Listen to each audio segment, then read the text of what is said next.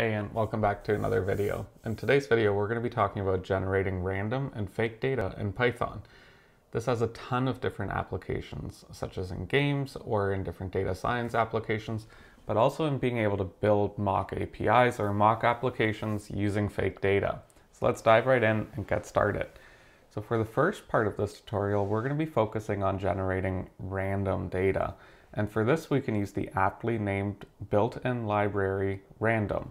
So you should be able to run this line of code without any problem. So when we run this, we get access to all of the different functions and utilities that the random library provides. The first thing we'll take a look at is generating a random float. And this is done using the random random function. So when we call this, we can actually see that it generates a random float between 0 and 1. So every time that we rerun this, we get a different float return. And so what we can actually do too is generate or run this multiple times by using a for loop. So we can say for underscore, because we're not really accessing this uh, variable, in range 5. So we're going to run this 5 times, run this line of code, and we can see that we actually get back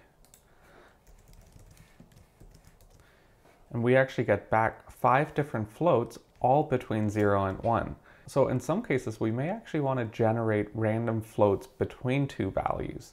Imagine that you want to be able to generate random sales data.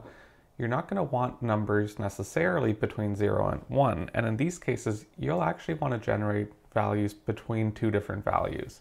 So for this, we can use the random.uniform function.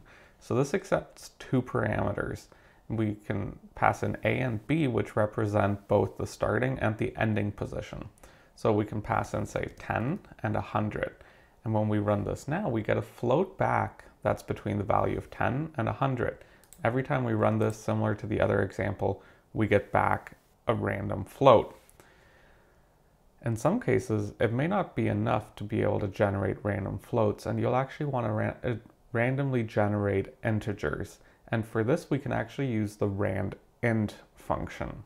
So the way that this works is again, we access the random library and here we pass in rand int. Now in this case, we do need to specify a starting and ending uh, parameter here. So we can pass in say again 10 and 100. And when we run this, we get back a random integer between these two values. Similarly, we can loop over this like we did before to be able to access multiple random values.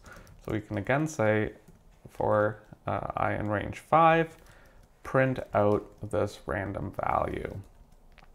Now, what if we wanted to be able to store these random values in the list? For this, we can actually use a list comprehension. So what we can do is uh, create a list. So we can call this values, for example, and then use a list comprehension here. So we'll call the rand int function, uh, and we'll say again between 10 and 100. And we'll just create our loop here. And then when we print out our list values here, we can see that we have five different values, all between 10 and 100. Now, one of the very interesting functions that the random library provides is the ability to generate random integers at different intervals. And so what this means is if we wanted to be able to sample uh, different or generate random integers only at intervals of five or at three between a set of numbers, we can do this. And the way that this actually works is by using the rand range function. And so this accepts the start and the stop parameters like we've been working with before, but it also provides a step parameter. And so this allows us to define what we want that interval to be. So say we wanted to access a random value between 0 and 100 with a step of 5, meaning that only intervals of 5 will be considered. Every time that we run this, we get a value that's divisible by 5 in this case between 0 and 100.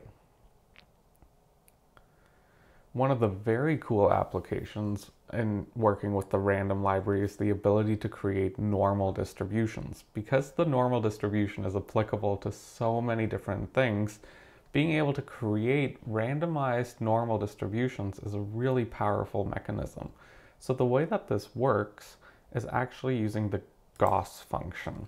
So when we do this, what we can actually do is pass in our uh, mean value as well as our standard deviation. So say we had here uh, a mean of 10 and a standard deviation of 3.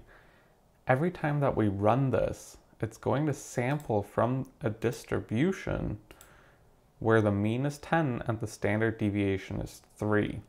So in order to take this a little bit further, let's actually see what this looks like when we sample a thousand different values.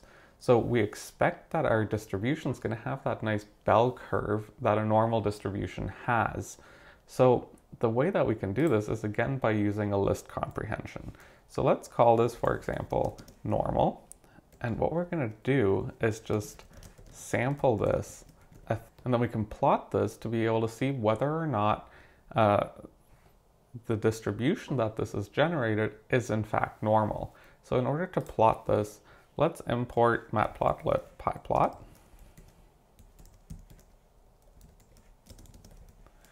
And what we're going to do here is create a histogram here and pass in our list of values. So we can see here that it's created this nice bell curve mirroring that normal distribution just as we expected.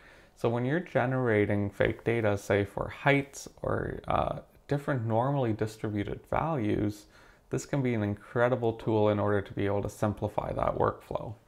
One of the other things you may want to be able to do is be able to pass in a list of values or a collection of values and be able to choose values randomly from that list.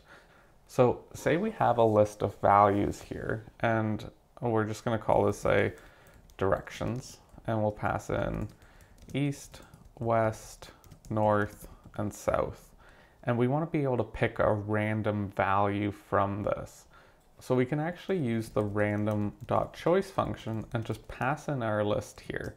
So when we run this, we can see that it picks a value at random here.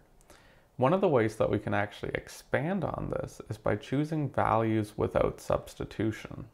So say we have the values from 0 to 15.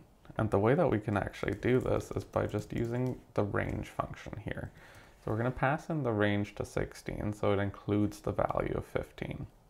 So when we run this, we store these in this list object, and actually to be safe, we'll just wrap it in a list function. So when we print this out, we can see here that we have the values from 0 through 15. So if we wanted to be able to choose values without substitution, meaning that one value can only be chosen once, we can actually use the sample function. So if we pass in sample here, and we pass in uh, our list of values here, and we pass in a k value. So the k is going to represent how many values we want to choose. So say we pass in the value 5 here, this is going to sample 5 different values from that list without substitution. So we can see here that each value is chosen only once, but they're picked randomly from that list. So once it's picked five, uh, 9, it's no longer able to pick 9 a second time.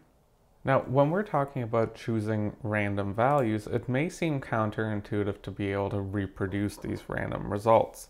One of the things that is worth noting about the random uh, library in Python is that it's not actually cryptographically secure. So when you're thinking about cryptography, you'll actually want to use a different library in order to make your results secure. And so we can demo this by actually seeding different values. And so the way that this works is we can set a random seed here, say to one. And so this means that we're going to be able to reproduce the results every single time we seed one as our seed. So we can demo this, for example, by calling uh, the random function here.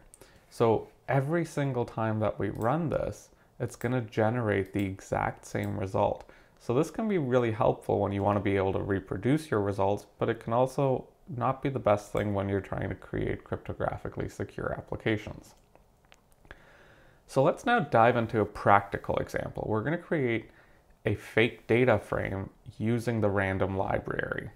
So the way that we're going to do this is I've defined a number of different lists here.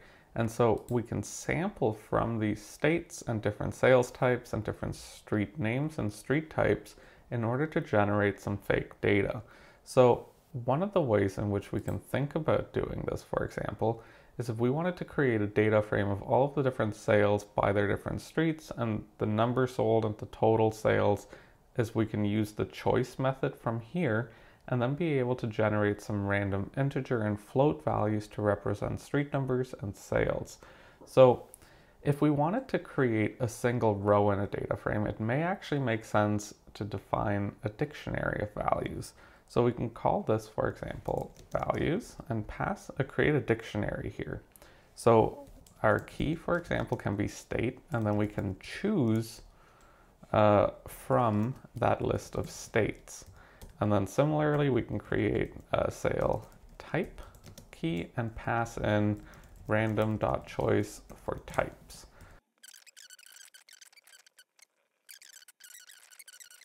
So when we look at this value here, we can see that it's created this random dictionary here based on the parameters that we've defined.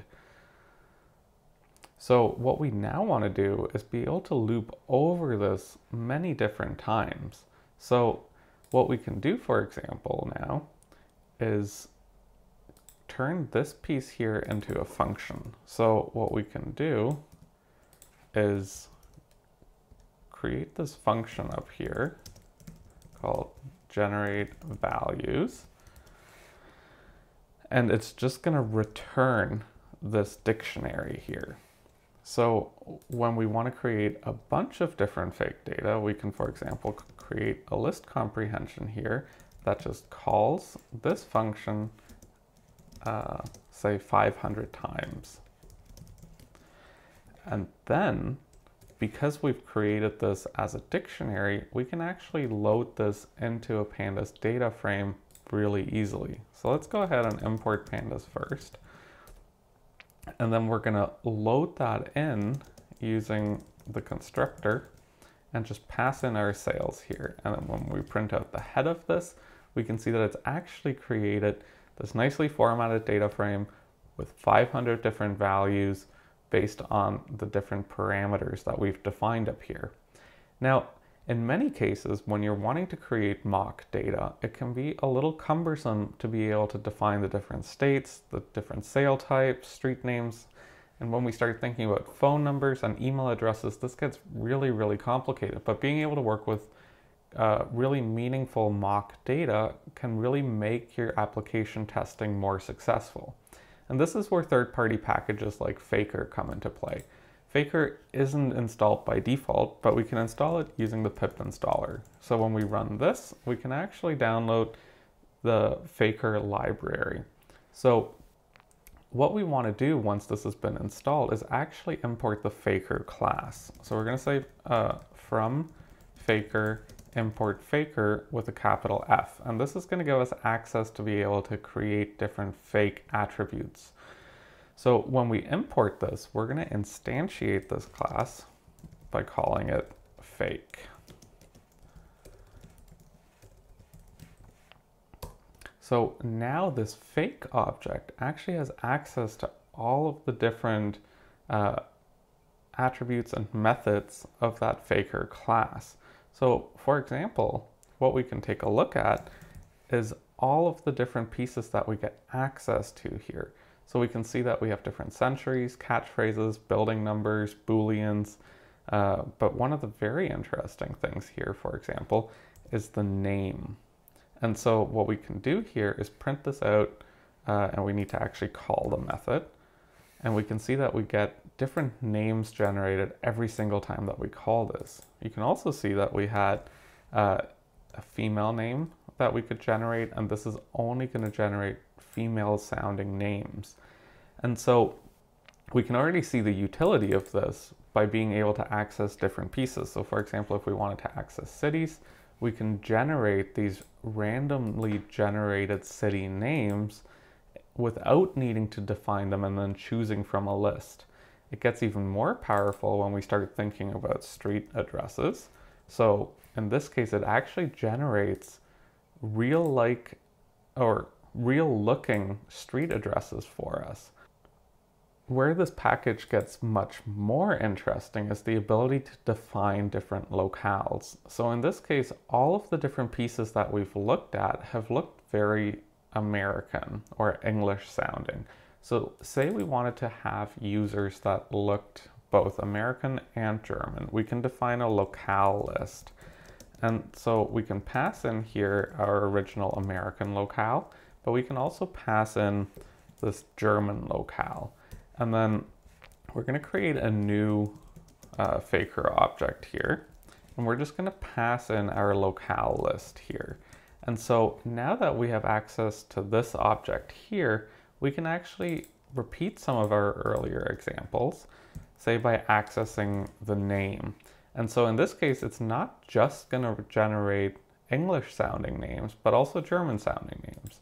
So when we run this, we can see that we get a much better variety of names. So let's go ahead and take a look at another practical example of creating a data frame using the Faker class. So this will look a lot like our previous example where we generate a dictionary and then loop over that dictionary and create a data frame out of it. So we're going to generate this new function here and we're going to call this generate person. And so So at this point, we can just generate our list of values again. So we're just going to call this function in our list comprehension.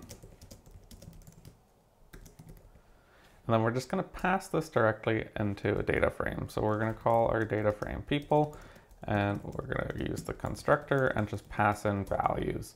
So now you can see how quickly that ran as well. When we print out our data frame, we can see that we have 100 rows generated, each with different locale type data. So for example, here we have the German prefix for Mr., but then we also have different jobs based on these locales.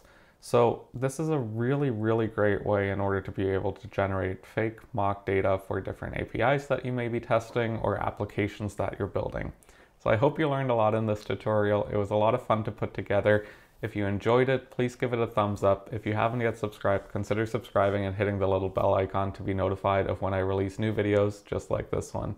Thanks so much for watching and have a great day.